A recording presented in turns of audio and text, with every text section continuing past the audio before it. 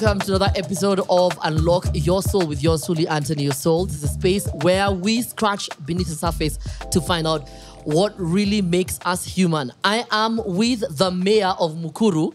He's a young gentleman making waves as far as the environment and activism is uh, concerned. He comes from a neighborhood that is now literally compared to Marseille in France, to East London, to I think somewhere in Copenhagen, because according to Kenya's president, Mukuru, a slum in Kenya, is so well developed, it's like Europe.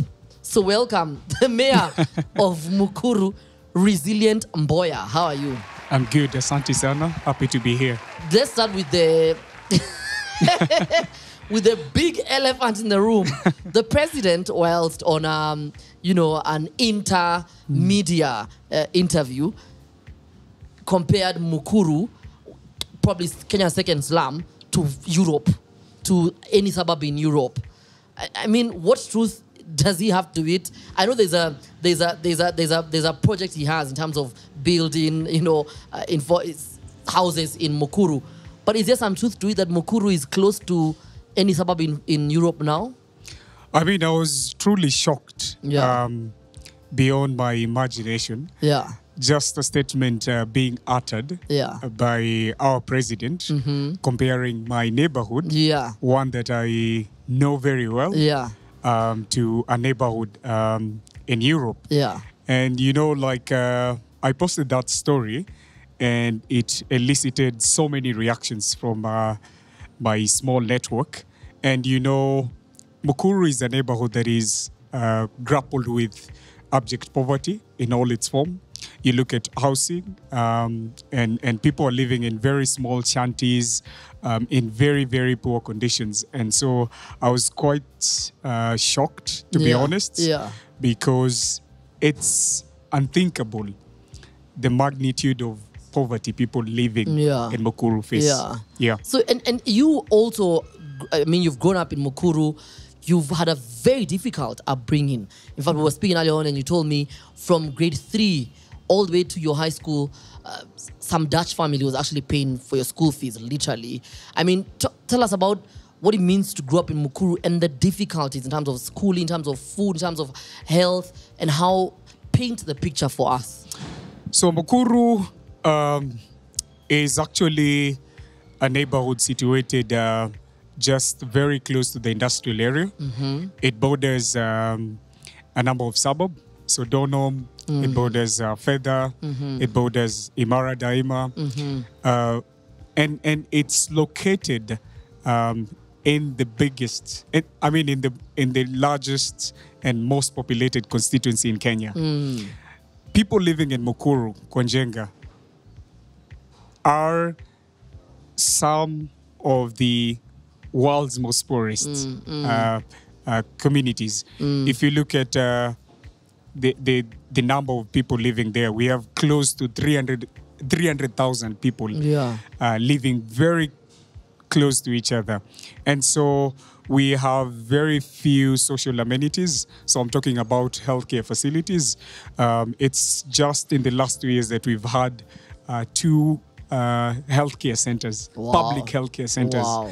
And even with that, we still have um, um, few doctors. Yeah. Um, or, or just absenteeism. They just Absentees, decide yeah. we're not gonna work. Yeah, Yeah. and um, people, most families, uh, do casual jobs to be able to meet their daily needs.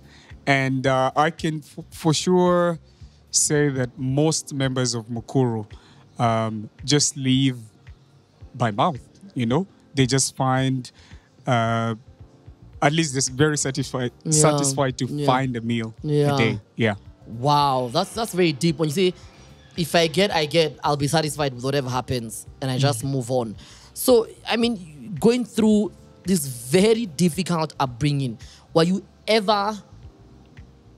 Did you ever feel influenced, maybe to, for example, join a gang or you know do anything illegal to actually survive, or was just your sheer willpower to be like, you know what, I have to get out, I have I have to make something out of myself. Um, I grew up. Uh, I grew up uh, with a single mom Yeah. and my eldest sister, and so just like any other kid, Yeah. I was exposed to violence Yeah. at a very young age. Yeah. Mukuru is a place where um, you'd wake up and and and someone would and and you'll find like someone has been has been killed Yeah, overnight yeah. because he was uh, stealing um, or police brutality. Those are some of the things that I was really exposed um, in my green. Yeah, yeah. So and and so many young people are pushed into violence due to um, the family's history of poverty. Mm. So because there's few opportunities, um, I could I could see that in so many other uh, young people. Mm-hmm. But for me, I um, I sort of uh, was also advantaged because uh, my mom was uh, part of this women group, and I used to attend uh, some of their programs. They used to run um, a peer counseling and mentorship program that uh, brought uh, youth and children uh, from different parts of Mukuru Yeah. to come and discuss issues, uh, but also to get educated and to also get social skills to live in such a place. But when also it's good that you mentioned your mom and you know and her peers.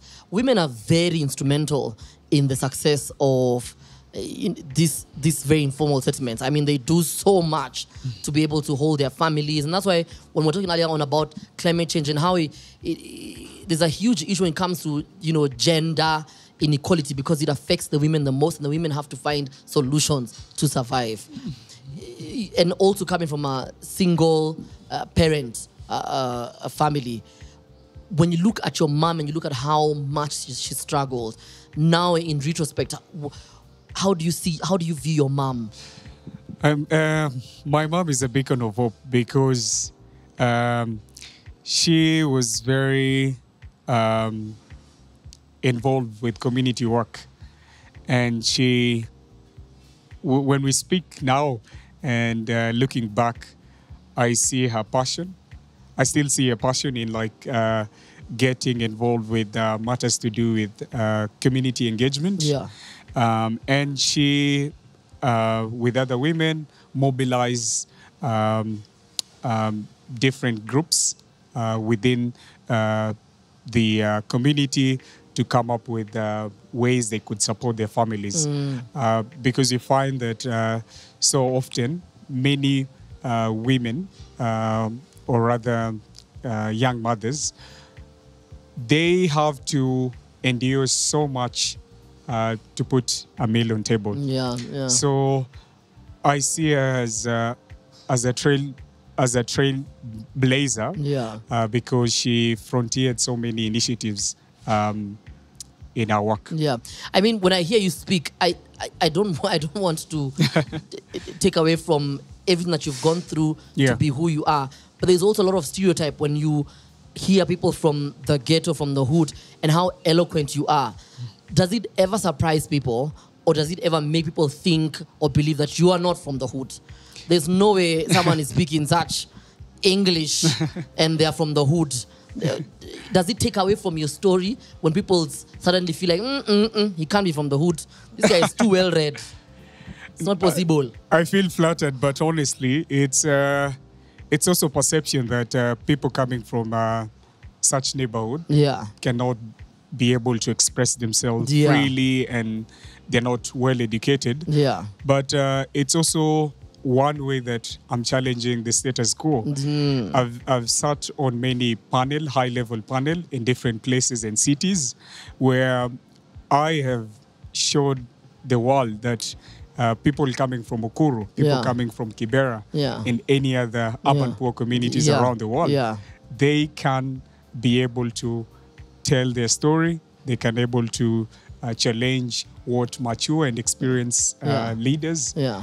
are failing to do. Now I understand why the president is confusing you guys for some city in France. Because if he's walking, if he's campaigning Mukuru, I'm envisioning it. And Yeah. he's just like, you know, vote for me. And then Yeah. there's our lady there saying, Can I have a boil of water? and someone else is like, Oh, yeah, please don't forget to bring me my Himalayan salt. And thinking, Ah, this, this hood is so French. This is so Yeah. London. What is happening Yeah. here? So I blame guys like you, but you are just fresh off the boat, literally, from COP28. And you know, I was following you and uh, some of the pa- panel sessions that you are a part of, some of the breakout sessions that you are a part of. Do these conferences matter as far as the environment is concerned? And also, as you begin to also tell us your relationship with environment, with the environment. Yeah. Um, I'll just start um, with um, my experience um, getting involved with environmental activism uh, for the last uh, six or five years uh, that I've been in this field. So, one experience literally changed the course of my life. And uh, that alone made me to be so much dedicated uh, to activism. And it goes back to my community. We had these Sinai fires in 2012.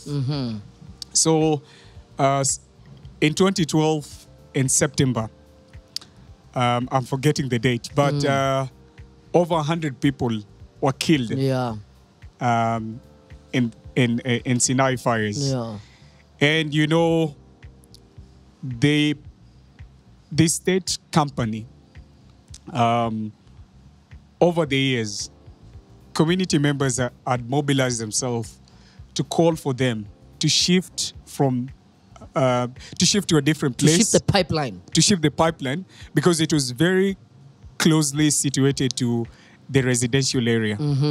And you know, you have people living in in in a house made of iron sheet, which are um, more, I mean, more um, vulnerable to Yeah. fire Yeah. um, cases all the time. And it happened that an oil uh, leaked.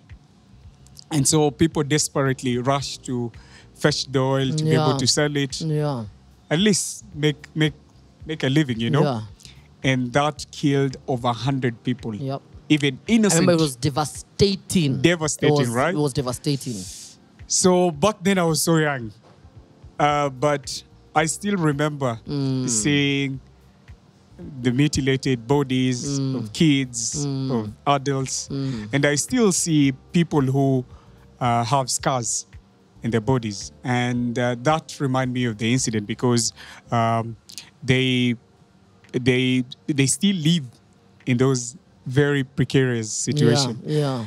And so over the years, I um, got so much exposed with my community engagement work. And I came to learn that uh, with mainstream um, um, government activities, it's very hard to be heard, to be listened to.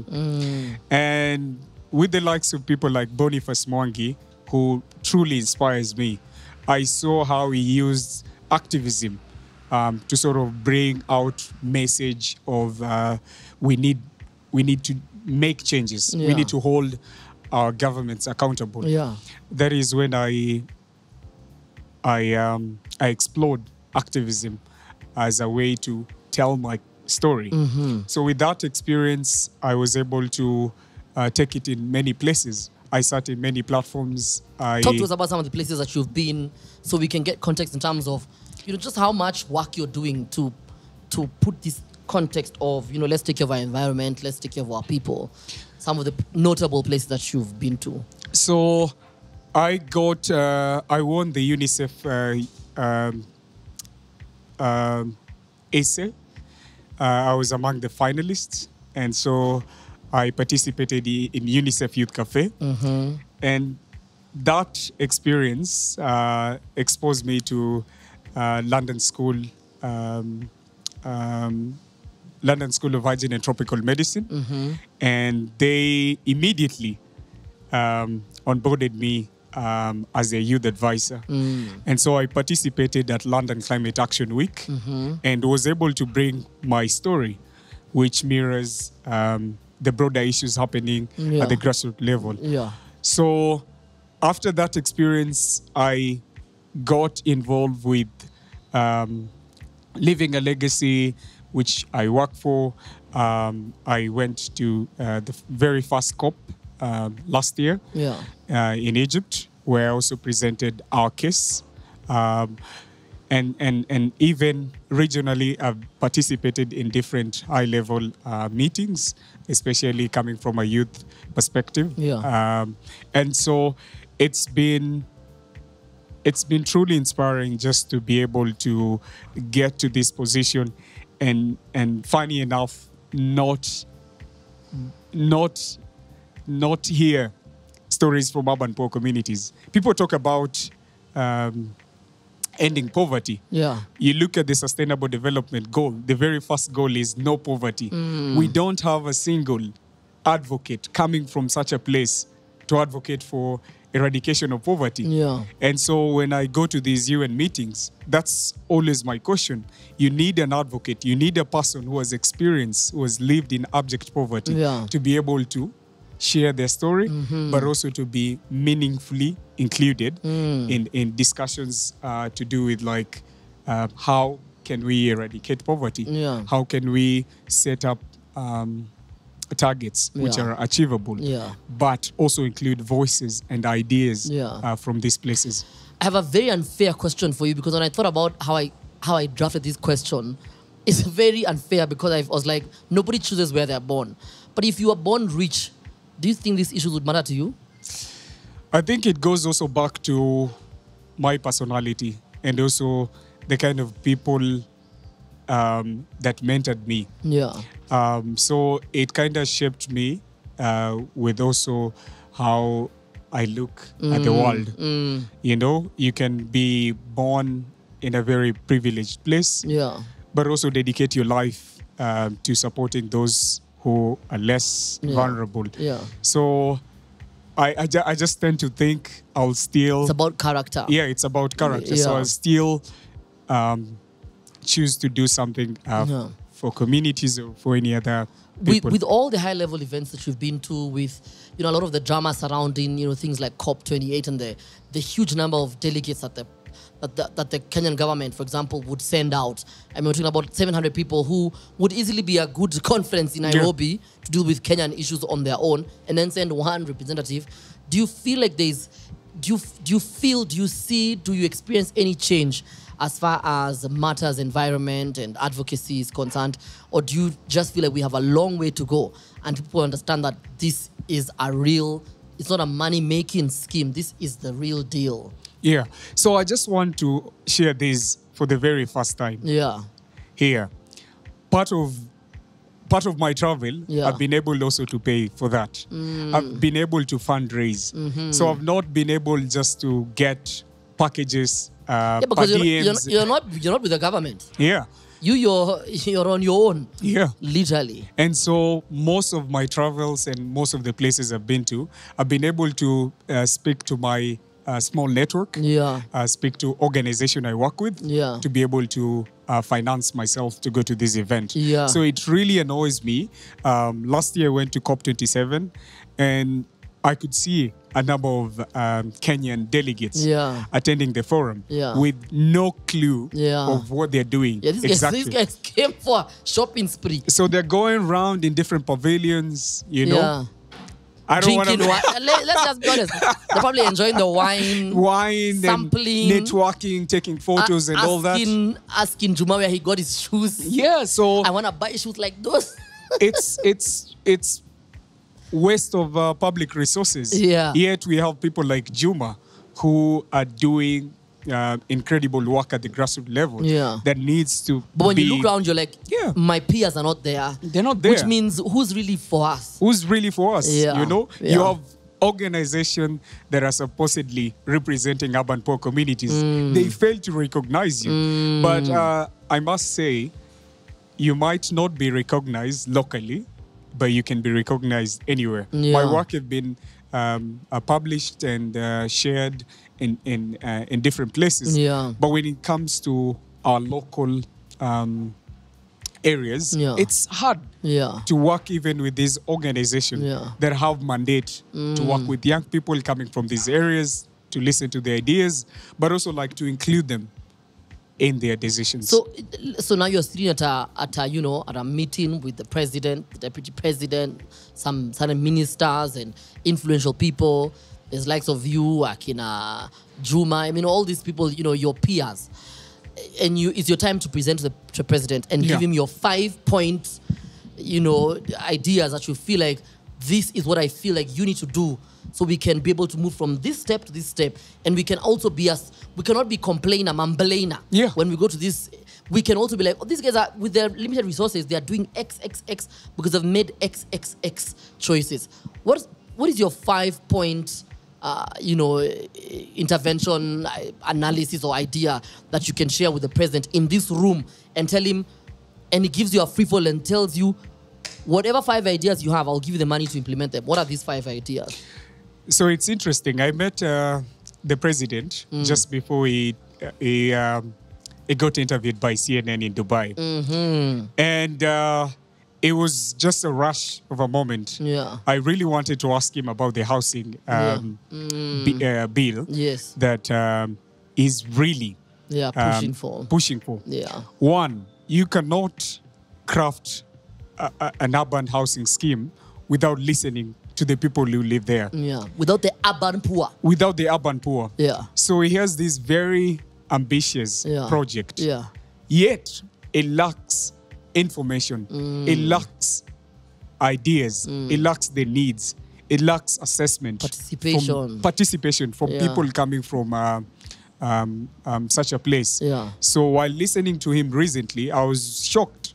He needs to ensure that we have strengthened public participation forum Yeah. where people come um, and they discuss issues, but also like have make a follow up. You know, you, they can come and discuss. Many a times I attend this public participation forum. Yes. We have our ideas captured, but that is not reflected in implementation processes. So we have to strengthen these uh, uh, public participation uh, mechanisms to be able to not only capture, but also like work out a way that uh, will have follow up and will have activities that people have identified to be able to uh, be implemented. Secondly, you cannot also um, think of building houses in places where people already exist without figuring out where these people are going. You know, I have lived my whole life in Mukuru Kwanjenga. I moved uh, just close to, to Mukuru Yeah. because I still want to Yeah. um, remain involved with our community work. Yeah. So you cannot tell me you have this idea of like building um, an ambitious housing project and then moving out people. These are not dogs. Yeah. These are people. Yeah. You know? So you have to figure out are we going to compensate them? Are we going to re, uh, locate them to a different location? We have to Or are we making them the first owners of these houses? Yeah. Because the biggest issue even now with the people on the ground is they're saying that this uh, urban housing development project is that they're afraid we'll literally have new landlords from Yeah. other areas Yeah. coming to own these houses. So the here's the people on the ground are they gonna be the ones who are given first priority to own those houses? Yeah, here's the thing. We're not refusing development. Yeah. Of course, we want to live in decent places. Yeah. We want to have uh, we, have, we want to have nice place, Yeah. right? Yeah. But we also want us to be listened. Yes. So there's a wrong message that is going around. Yeah. People from Mukuru, people from Kibera, people from Dandora, or any other urban poor community in Nairobi, they're not refusing development. They want to be part and parcel of that um, decisions yeah. being made. Yeah. So it's a, it's a matter of listening to us and enabling, seeing us as enablers because we have a vision. Mm. Yeah. You know? But now, actually, it's good to say that now my philosophical mind is beginning to tell me that there is a correlation between a, a- a- a poverty and policy in the sense that the poorer you are, the lesser of a say you have as far as policy and implementation is mm-hmm. concerned. Whilst the richer or the more enabled you are, the more you're allowed a seat on the table to have a conversation around your security, around your environment, around what you can become, around what affects you. Yeah. But the poorer you are, you don't have a say. Shut up, sit, and let us tell you how things are gonna go. So the idea of that when you're poor, we are trying to create these decent living conditions for you, but also you should not speak. Why are you speaking? See, you're poor, and the ones, we're the ones who know how we can get out of poverty. So keep quiet. So now that I've thought about it, there's literally there's a condescending attitude towards the poor. That you will remain as poor as you as you as you as we will, mm-hmm. and when we try to get you out of it, you shouldn't talk. You're talking or you're having a say is basically you trying to mess with the status quo, and we mm-hmm. can take it away from you. Yeah. See, you, you're trying to argue with us. We can as well take these houses and take them to people who are who are more thankful of the opportunity. Well, it shouldn't be like that. Governments mm. are not here to to be pleased. Yeah. They're here to please the people, not to be mm-hmm. pleased. So I'm, I'm really finding it very now I'm you see, when I sit in my house and I listen to this conversation, it might not affect me to be honest. I may mm. not care. Because mm. to me, I'm like, ah, you know, it's another story. But there's people, human beings, who are actually affected on the ground in Mukuru, mm. in Kibera, in Kawangware, in all these places when they are told move out and we want to build anew. What happens? Where is their voice? You know. So. Mm-hmm. Eh, Anyway, I'm, I'm I don't want to be so like angry black man. No, it's Yeah. okay. It's okay actually to be to be angry because I read an article that said, um, you see all these movements that have been happening around. Yeah. Um, the more angry you become, Yeah. the more um, the more you challenge Yeah. um, um, the the government Yeah. to respond to your issues. Yeah. I remember we've had so many encounters in Mukuru. I have a friend called um, uh, Daudi. Yeah. He won the Human Rights um, Defender Award. For him, help mobilize young people uh, because we had we in Mukuru we've had so many issues of land grabbing. Yeah. So it happened that we had like a public school that was grabbed and uh, developed by a private um, uh, big man. Yeah. Hey, the audacity. And it was through anger that we were able um, to return back the public school. So right now we have a public school. And I can tell you for sure, it was due to anger Yeah. that we stormed that exactly. school. Yeah. We we used power. You made noise. we made noise. we were talking about this before when you went when you went to the um, dispensary, the hospitals, and you couldn't get any service. And I told you how one time I went to the national Nairobi City Water and Sewerage Company, you know, offices, and they couldn't give me service. And I've been there for three hours. And I there's people, there's Kenyans who are there for six hours, and they were Yeah. like, and I was asking them, why are you guys okay with this? And they're like, now what do you want us to do? I'm like, what do you mean? We have a voice. Yes. We just make, and you know the thing is when you make the noise there, these guys don't know where we live. Exactly. So and already we don't have we don't have water, so they're gonna cut it twice. No. Yeah. So we just make. So when I started making noise, I started making noise. Mm. So what I did, I'd go to the wall and read their vision mission statement. Mm. And start saying, you guys are saying that your job is to serve in a timely manner, and you're not serving us in a timely manner.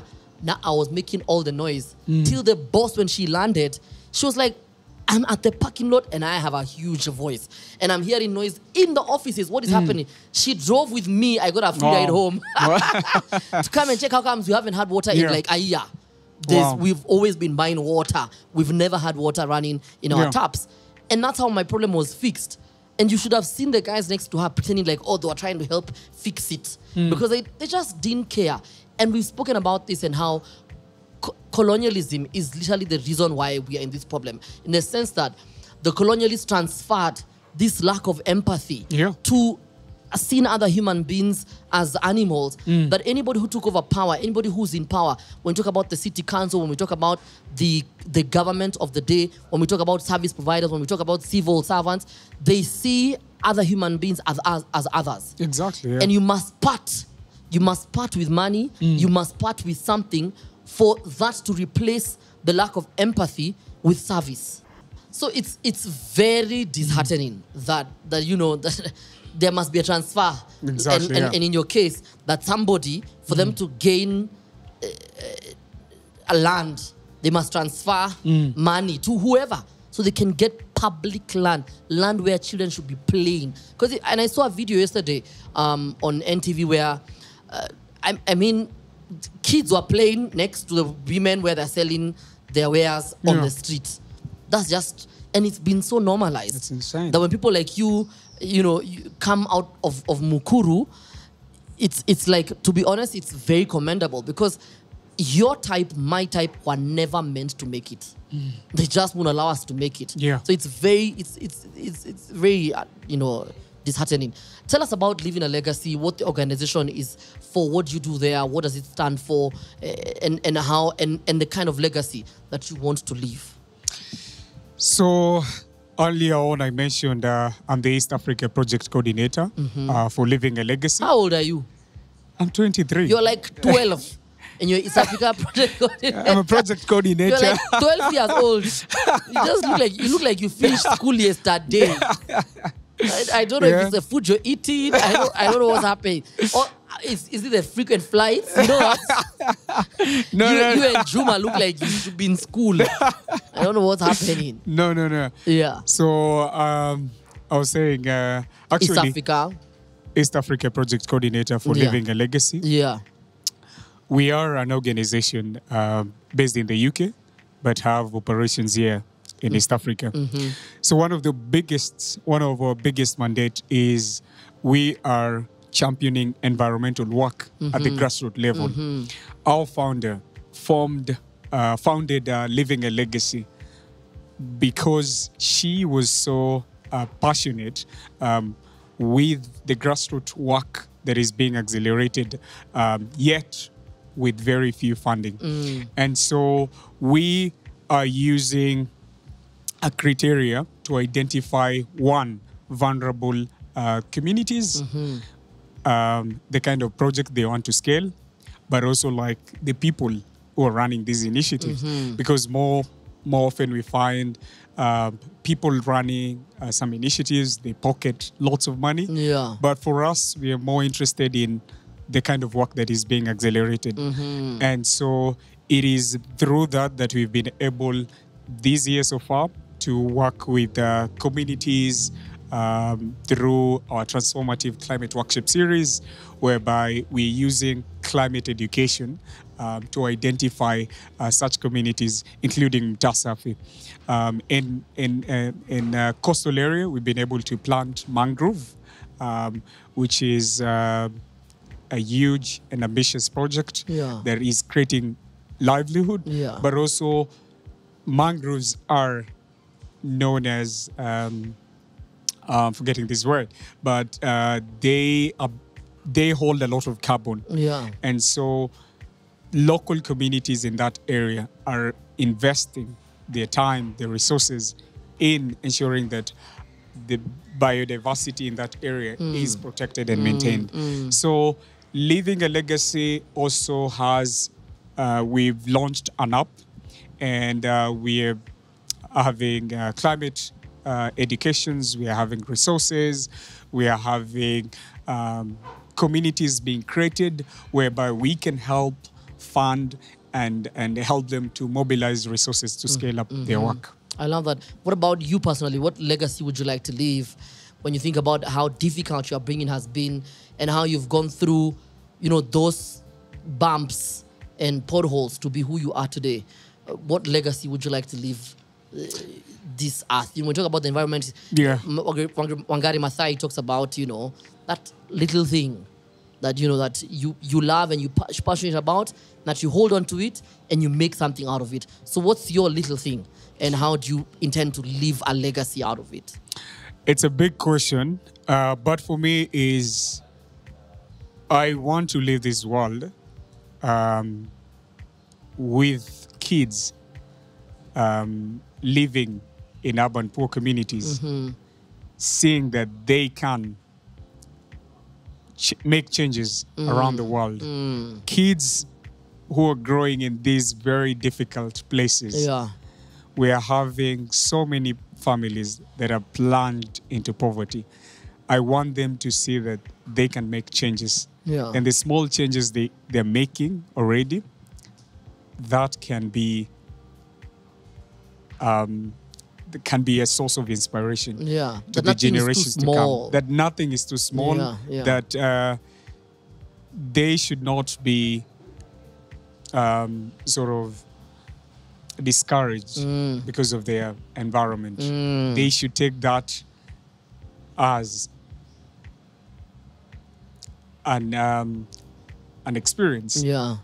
that can challenge Exactly. uh, so and, a, many and a stepping stone to and to be everything. resilient. Yeah. to be know, when you say that you, my legacy is I want to, I want to have. ki- I was like kids. Ah! I was like, what do you mean you want to have kids? Like many children. I was like, what is? then I realized, oh, it's the kids, the inspiration. I Yeah. was very worried that after all these great things you've done, your legacy is to have many that should children. be cut, honestly.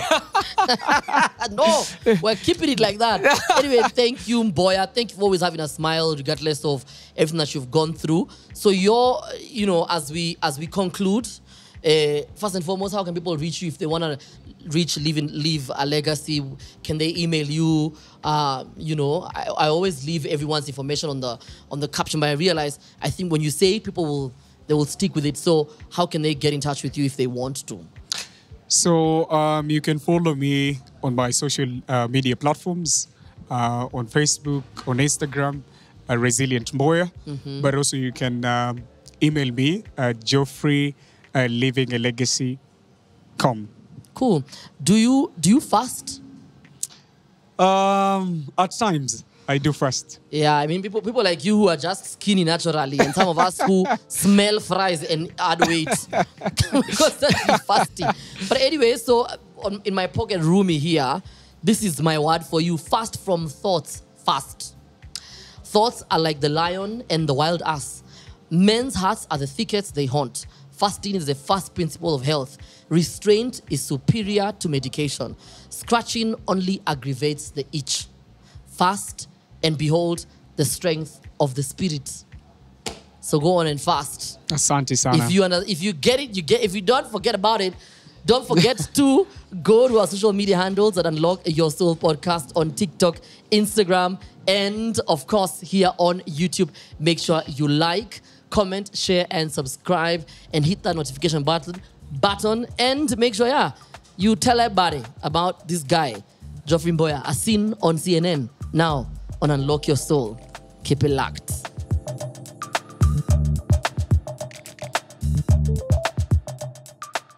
I want to remind you to unlock your soul with Anto Neosoul. All you gotta do is make sure you like every video on this platform. Please comment, share, subscribe, and hit that notification button and let us unlock our souls.